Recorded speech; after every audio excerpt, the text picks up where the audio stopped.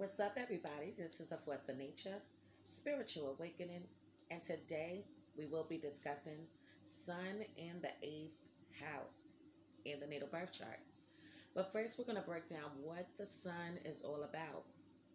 So, the sun has to do with your self identity, what you identify yourself to, and what others identify you to be. How people perceive you on the outside opposed to the inside, like if it was the moon. Also, the sun has to do with your ego and your conscious self. It has to do with your outside presentation. So now the eighth house. The eighth house has to do with secrets, crisis situations, chaos, sex, the underground, things that go on underneath the surface, taboo, taboo topics, things that people don't want to discuss or even go near, death, rebirth, transformation, the occult and occult knowledge, joint finances, and other people's money. So we're going to jump into this today. Sun in the eighth house, men and women. These men and women have a hidden personality. They know how to deal under pressure and crisis situations. So these are going to be the type of men and women that when things get out of control, when things are chaotic in their world or even outside of their world, they know how to adapt and adjust. They know how to um, move in situations that are very chaotic. Where some people don't know how to do things like that. Some people don't know how to move. They don't know what actions to take. These men and women know how to do that. They can also be very giving and generous. They can reveal layers of their self to people over time.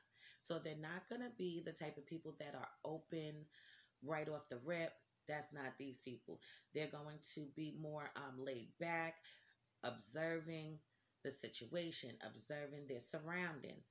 Okay, and this goes for even people that are very um, close to them. They're not going to reveal a lot to them off the rip. So, what else can I say about this placement? These men and women hate secrets, lies, and deception with a passion. However, they are secretive and private themselves. So now they don't want to expose too much of themselves um, too early on in relationships, even friendships, on the job, even in the family dynamic. They're going to keep a part of them hidden, and it's going to be a mystery to you. Um, just the way that they are is actually a mystery to them because they want to um, uncover who they are completely, all the way down to the core. Yes, this is what these men and women are about. Another thing with this placement, um, careers that these men and women would do excellent in would be uh, being a therapist, working in a hospital, doing astrology, working with the occult, psychology. These men and women are going to be drawn to the dark side of life. And this is going to happen even early on in life. They're going to uh, have things revealed to them in a way that is going to open up their mind to things that are hidden, things that are also secret, and lies and deception. So now, very early on in life, these men and women did experience a lot of lies and deception and deceit. People not being honest, people not being truthful to them. And because of this, what ends up happening is that these men and women become very curious, very suspicious, very cautious, and alert. They are pretty much on point on these things. They know when somebody's not fully telling them the truth and somebody's not completely being honest to them to the full extent. So there's some bad motherfuckers. Another thing with this placement, you want solid foundations. You want your independence and don't want to have to depend on anyone else. However, these men and women can look towards their partners that can secure the bag, Make sure that they're good. Make sure that they're okay. Make sure things is in place and things are intact. All right. So now, um, a lot of times with displacement people are going to um, accommodate them. People are going to look out for them um, just out the blue, randomly. Um, people can definitely do these things. Um, but what it does um, signify in this chart as far as the sun being in the eighth house is that um, you shouldn't look towards others for financial matters okay? You should look towards yourself. Even if these things are being presented to you that's a nice thing but you shouldn't be dependent on it okay? If it happens it happens. If it doesn't you should still be able to be self-sufficient moving forward so now you can be obsessed and controlling when it comes to money. So these men and women are going to love to have money. They're going to love to um, be surrounded by beautiful things, luxury things, and they are going to be absolutely obsessed and controlling. So if somebody um, tried to steal from them, take from them, of course they're going to go off, going to pop off, have a lot of things to say, and it's going to be a chaotic storm for you. These men and women are highly interested in the occult and hidden knowledge and hidden um, information. These men and women love to dive deep and do their research. They love to do their homework, do their research on anything that's being hidden. Hidden knowledge, hidden information, the occult topics, all of these things is very intriguing to them. It's something about the human mind um, that really intrigues these men and women. So now um, they can be great at uncovering secrets. And you could be surrounded by lies, deception, and betrayal throughout your whole entire life. These men and women will be alluring, mystical, sexual aura to them. Um, they are going to have an undeniable, magnetic, and charismatic um, look to them and nature to them. So they're going to hold and possess within inside of them um, something that is very mysterious, something that is um, wants people to know who you are. They want to know what you are all about. Okay. On top of that, uncovering secrets is something that these men and women know how to perfect. Okay, and they are excellent at that. So if you are the type of person that's dealing with a sun in the eighth house, if you know them on a relationship level, friendship level, or business level, um, you need to understand that these men and women, um, they have a keen sense and a keen eye towards things of this nature. Okay, they're going to always be on the lookout for these kind of things. They are more drawn to the darker side to life okay? And getting down to the depth of that, getting down to what people are not fully saying and what is true. They want to know how this world works, how it really works, not from what just somebody is telling them. They're going to look it up themselves. Now, these men and women can have a rocky relationship with their father. And it needs to be worked on and transformed in a better light. So whatever went on and took place in these men and women lives as far as when it comes down to their father, it really needs to be mended, worked on so that they can um transform the relationship into a better way so that they could be able to communicate healthier, better, or whatever's going on. You want more out of life and can be extremely patient to obtain what it is that they want out of life. So, as you can see, these men and women are not impatient. They do have patience and extreme patience these men and women will have to be able to obtain whatever it is that they want out of this life. Okay? You need a partner who is a go getter that can be. Oh, sorry. You need a partner that is a go getter that can be a providing source for you and bring it to the table. So these men and women need somebody that can provide. They need somebody that's going to be able to um, come to the table with something. So these are not the type of people that um, when you are dealing with them, that they're probably going to deal with somebody that can't bring absolutely nothing to the table. You do have people in the world that do do that, but these men and women are not interested in that. They want to know that you have something and I have something and we can build together. I have a car, you have a car. I have two houses, you have one. See, this is what they're um, looking for some kind of um, solid foundation. These men and women want to be able to join their finances with their partners. And in a sense, they want to be financially secure when in a relationship. So they want to make sure that their partners are getting money, have money, okay? Because that's two different things. You could be um, having money, but then you probably don't have it anymore. Okay, things happen. No, they want you to be a go getter so that even if you have it, if something jumped off into a place where you didn't have that big bulk of stash, you know how to get up and still rise to the occasion and know how to get it out the mud. Yeah, this is what they're looking for. All right.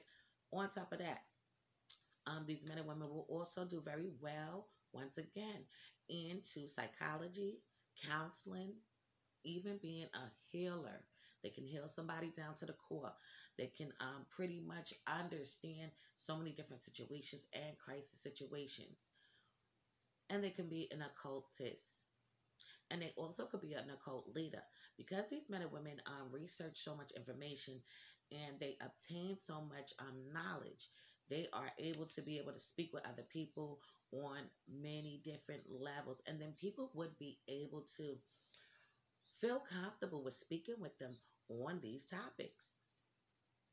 These men and women have a lot going on underneath the surface.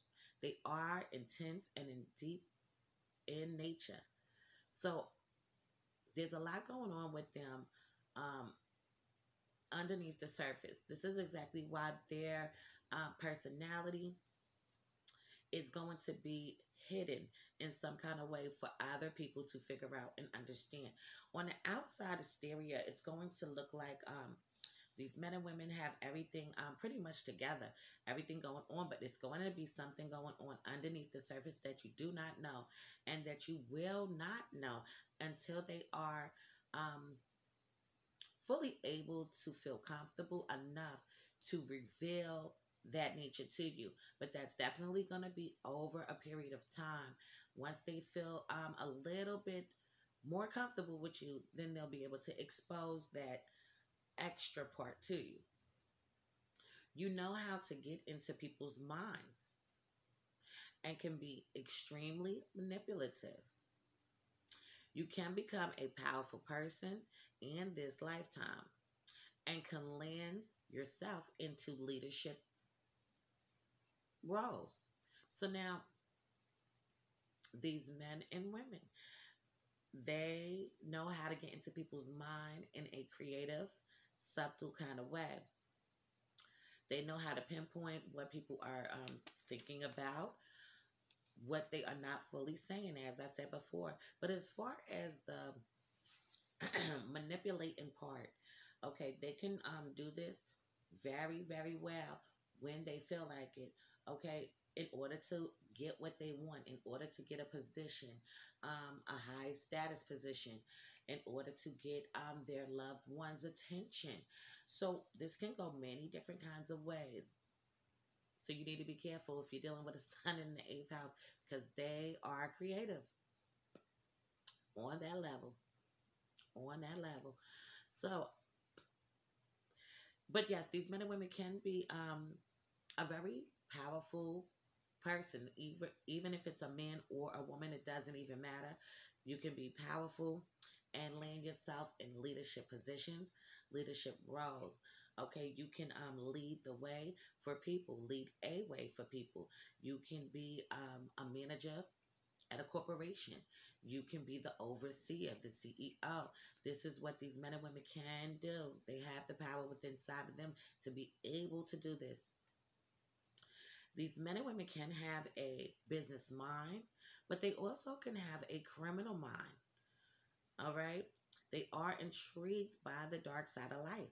So a lot of times when you grew up being um, drawn to certain things, it usually stems because you are also being placed around these things in some shape or form. Okay, it could have been in the home where you've seen things that were a little uh, unusual, but it could have also been outside of the home that you also seen things that were um, a little different than um, the norm. Okay, going on. But they do have a business mind and a criminal mind. Okay, and to me, it is pretty much the same. As I always say, the only difference is the criminal mind is more geared towards the vicious, violent, dangerous side of life. Okay? But even when you're dealing with business, you can have risky, dangerous things that come along with that, depending on what kind of business that you are dealing with. So now, these men and women, negative energy will come their way and they will be drawn towards um, these things as well. So these things are going to come their way. Negative energy, negative bullshit, just shit in your way. Okay. Um, even these men and women can even have psychic attacks and entities um, coming towards them to even try to fucking attack them. Okay, so what they do need to do is be um, alert cautious and aware and use that wisdom that they have inside of them to really um, think positive the more positive you think um, for these men and women. It's definitely going to um, dim that shit down but it is still going to be drawn to them all right now your father once again we're going back into your father. Your father could have been in and out of your life or in and out of the home or he could have died passed away early on in life. Your father could have been very hard to reach, or he could have been um, not emotionally available to you. So it could have been hard to reach him on an emotional level. He may have been involved into criminal activities as well. Your parents could have um, had a lot of arguments, a lot of They could have been beefing. They could have even had fights. Your father could have been whooping your mother's ass. Your mother could have been whooping your father's ass. Or they could have just been struggling um, with bills, trying to maintain things, trying to make sure things was in place and intact for you. Whatever the case was, we already know that however the relationship went, as far as the father goes, that relationship does need to be repaired. It needs to be mended. It needs to be um, a better relationship. Now, if he is no longer in this world, on this earth, then we know that's not um, the, it's not going to be possible for it to be mended if that was the case, because that might not even have been the case that he was hard to reach or anything. Okay, but it does signify that um, there was a rocky relationship. Period. All right. These men and women know how to deal in crisis situations once again. Okay, so let's give some examples of crisis situations. Say, for example, some shit jumped off. Okay, it's a chaotic situation. Everybody doesn't know what to do in the situation. These men and women are going to um, not act erratic. They're not going to act emotional. Okay, they're going to use their intellect their full blown fucking intellect and they're going to move like they are playing chess, how to figure out the situation. So they are very well at problem solving and solving situations. They are good at this. Some people are not good at doing that shit. Some people get emotional. Some people get um clumsy. Okay, don't know what to do. don't know what to do. And don't know how to move. These men and women know how to do it okay? If all their money happen to um get depleted okay? That is a crisis situation. They're going to come up with an idea or a solution on how to make the money back or get some more money back in so they won't be broke. You see what i'm saying? So they know how to move in um, troublesome situations. Another thing with displacement is that um, these men and women can struggle with not feeling appreciated and loved. They can um, really have a strong fear around rejection and um, abandonment issues. Okay, not wanting to be alone, not wanting to um, be shunned or dismissed in any kind of way. All right, so now Sun in the eighth house men and women, you need to know and understand that you are valuable, that you are worth it, and that you are somebody. Okay, even if early on in life people did reject you, did even abandon you, um, you are your own unique person, and you can overcome these um, trials and tribulations, these situations. These men and women can overcome this and come out even stronger and wiser. So now having these feelings of not being loved, not feeling like you are deserving of love, not feeling like you are worthy of love. You can overcome it. Find the strength inside yourself, and you can become even more wiser and stronger like you have never been seen and like it has never been done before. This is what you men and women are capable of. So don't seek out validation from other people. You can have deep rooted fears of abandonment and rejection. Something traumatic, something traumatic went on and took place in these men and women lives.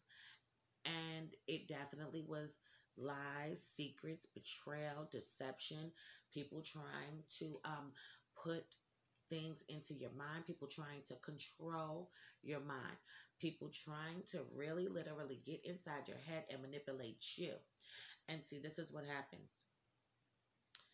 When you have been um, in those kind of situations early on in life, it now allows you to be able to be very manipulative yourself.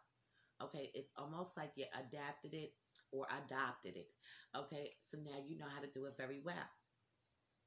So, because these things went on and took place in your life early on in life, we know that this is also going to be things that's going to take place throughout your life.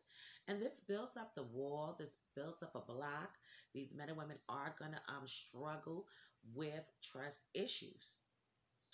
And it's going to be hard for them to um, really break down those walls. The trust issues for these men and women are at its highest peak. Okay, so you do need to um, just do some self reflecting. Make sure that whatever is going on in your world, you can um, definitely perfect it. These men and women, as I said before, they do have layers to them, but on top of the layers, they are interested in the occult, the astrology, all of the magic and the mystical things these men and women want to dive deep into. Okay. And they can even do very excellent in those exact fields, along with even health fields as well. So, this is all I'm going to say about this placement. In future videos to come, I will be going more into depth into this placement. Please be sure to check out my online store it is Grimy Gear at www.grimygear.com. If you need a caterer, be sure to hit me up. I am the chef goddess also at Supreme Royale Catering at gmail.com. If you need my husband to do any work to your home, swimming pool, or business, you can hit him up at Ron Nesbitt90 at gmail.com. If you need a tarot card reading, it's $30. If you need a birth chart reading, so you can fully understand and grasp, it is $50 for two hours if you need a synastry chart, which is a compatibility chart. That will be $70 for two hours. So this has been a force of nature, spiritual awakening. Love is love, peace, and blessings to you all. And I will see you on the next one.